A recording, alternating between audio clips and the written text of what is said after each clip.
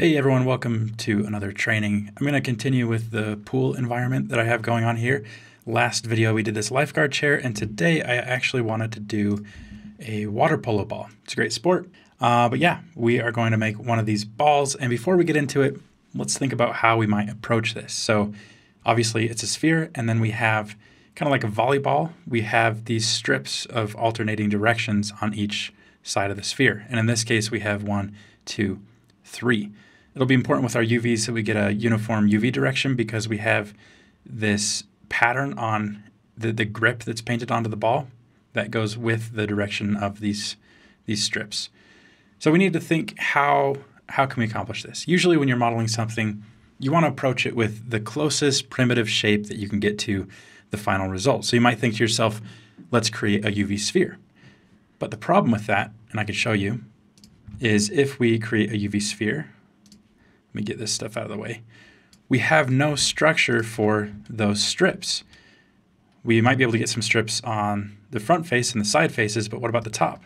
It's not a uniform kind of thing. Things start to fall apart. So a better alternative is actually a cube. When we look at this, we can have strips on this side and this side. We can have strips on all the sides, but of course it's a cube instead of a circle. So how do we change this cube into a circle? First things first, we need to think about those strips. Since we have three strips on each side, let's subdivide or add loop cuts. So control R and then scroll up to add two loop, loop cuts on each side. And now we're gonna have three strips here, three strips here, and that's gonna work out great. To turn this into a sphere, what we could do is simply subdivide it.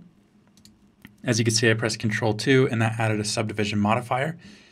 And that is closer to a sphere. It's a little bit more rounded, but it's still not quite a sphere. So for the final step, let's apply our subdivision modifier with Control A.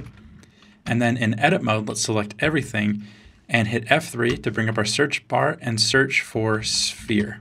And we have this handy tool under Mesh Transform called To Sphere. If we select that, just like magic, we can turn the cube into a sphere. And that is exactly what we need. Now we have all of the building blocks for the shape of our water polo ball. So what I'm doing now, as you can see in the reference, we have these grooves. So I'm just outlining where each of those are going to go. And I'm holding down Alt to do a loop select and Shift Alt to add additional loops to my selection. We can go to X-ray view with Alt Z just to make sure we have everything, and that's looking good. Now, what about the strips? Well, we have, let's see, 1, 2, 3, 4, 5, 6, 7, 8, 9, 10, 11, 12. 12 divided by 3 is 4. So after 4 faces, we should have a line going this way. So 1, 2, 3, 4, line. 1, 2, 3, 4, let's see, 1, 2, 3, 4, line. And to select that line, I'm holding down Control Shift to get the shortest path in between. Now we need to alternate on this side eyeballing those four spaces in between each one, and then we'll continue the pattern across the entire surface of the ball.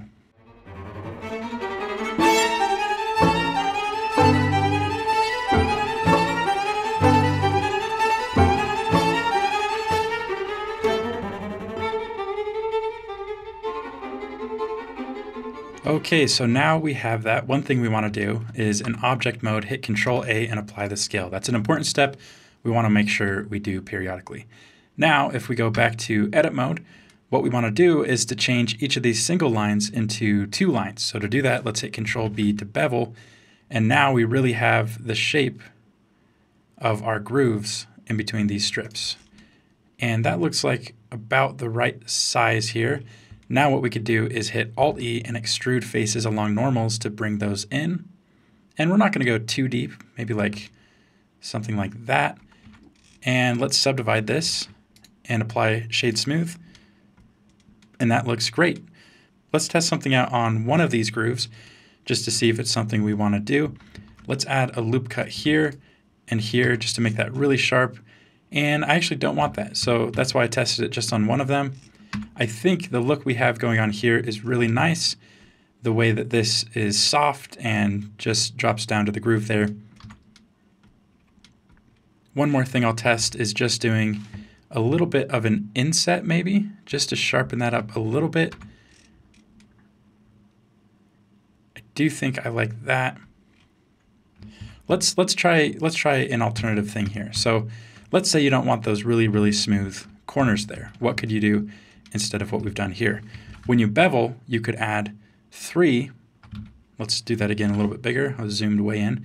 You could add an additional cut there, hit Control minus to shrink that down.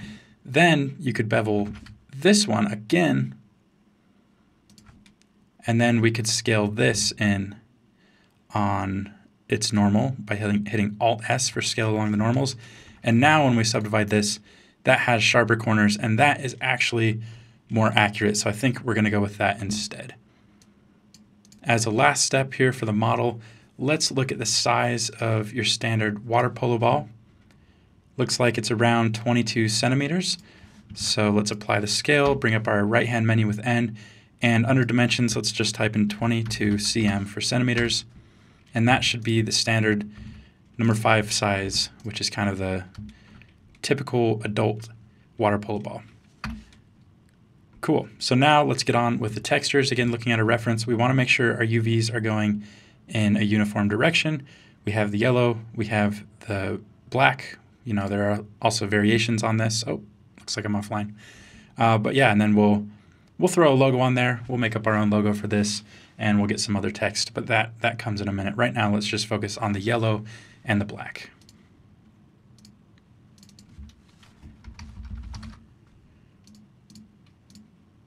Adding yellow and black, and we already have the groove selected here. This will be our black material, assign. Now if we go to rendered view, we can kind of see what's going on. Let's take our yellow and just, for starters, apply a yellow material. It's kind of a, an orangish yellow.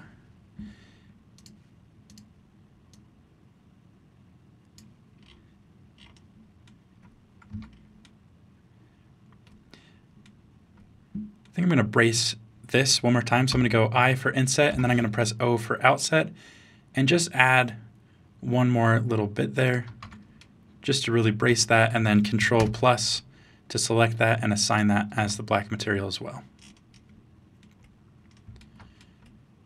Great, now for UV unwrapping and the rest of it. So let's quickly create a new material that we'll call UV. And let's see if I remember where this is.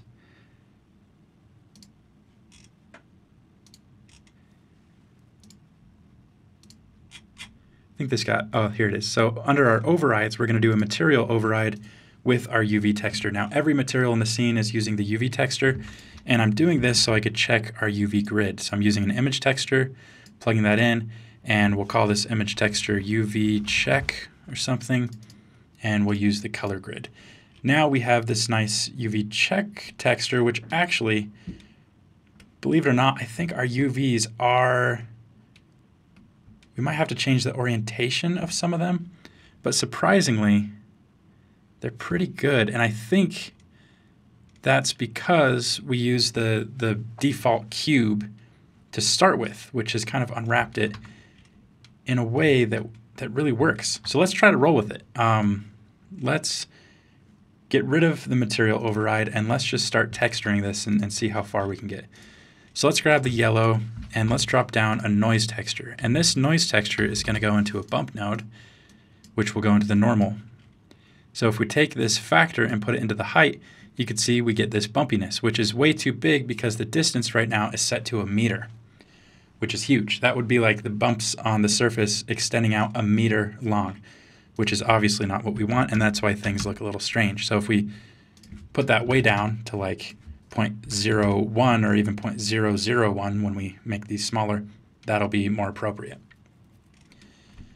Now from here, I'm hitting Control T to get the mapping and texture coordinate, and I'm going to use the UVs to drive the size or this, the layout of this noise texture.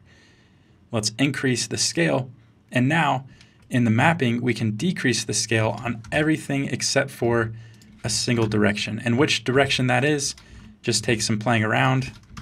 I think this is the one that we're going to want. And then, as you can see, we have very long, thin noise texture along these strips, which is exactly what we want. Although we do want to change the orientation of some of these as well. So for starters, this is this is totally fine.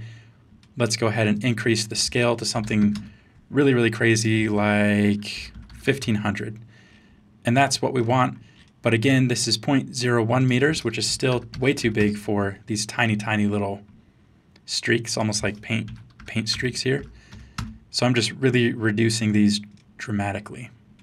So as great as that UV unwrap has been for us, we're actually going to end up doing just a manual unwrap anyway, and that's because we want to get the, the grain or the UV direction on all of these going in a uniform way, which we can't do right now because all of these are connected, which would be really difficult. So I'll go ahead and just do a little bit of a time lapse